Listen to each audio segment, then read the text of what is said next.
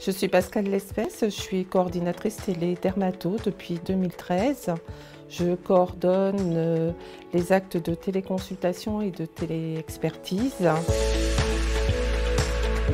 sur euh, l'organisation des actes de télémédecine, euh, ce qui comprend les téléconsultations et les téléexpertises.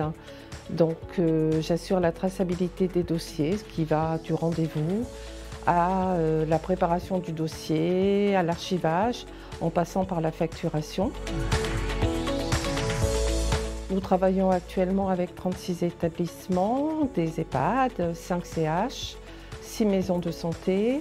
Nous faisons des téléconsultations et des téléexpertises de manière quotidienne, ce qui permet euh, une réponse rapide aux demandes.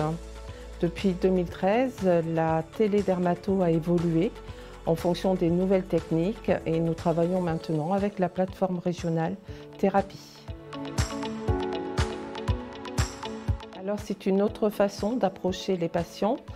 Euh, le fait de ne pas les déplacer, de les voir à travers un écran, au départ ça peut paraître euh, très compliqué pour eux et ça ne l'est pas du tout. Ils acceptent euh, cette nouvelle technique et sont très contents de rester dans leur structure je participe aussi à la formation des soignants des établissements extérieurs par visio. Je les accompagne dans l'utilisation de la plateforme s'ils ont besoin. Et je fais partie aussi du COPIL télémédecine du CHU de Rouen. Les missions sont très différentes, mais c'est ce qui me plaît et c'est ce qui me motive dans mon travail tous les jours.